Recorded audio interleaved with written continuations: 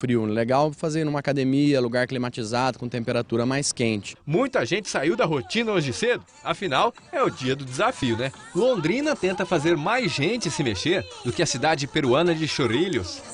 Esse é balada tá rolando nos Estados Unidos, hein, gente?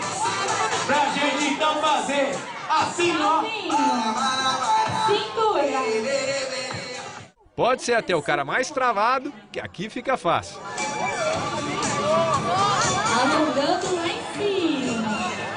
Foi bem. Foi bem, companheiro. Gostei. Teve até um abraço simbólico pela paz na Praça Nishinomiya. Mas o negócio era mesmo mexer o corpo. E a criançada até chegou por aqui com frio.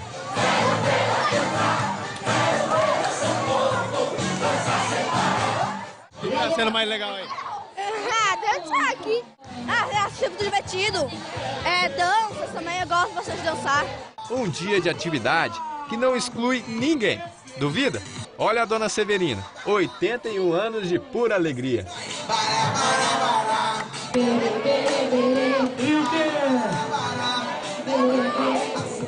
É bom pra gente, é bom pra saúde, é bom pro dia a dia, é bom pra tudo. A gente se torna uma criança no meio das crianças.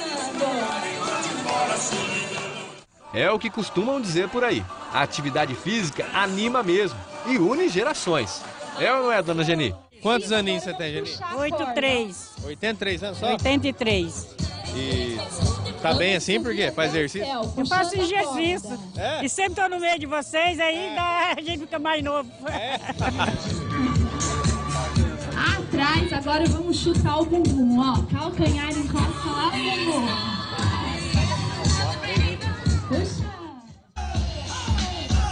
Bom, vendo a dona Geni aí dá até um pouquinho de vergonha, né?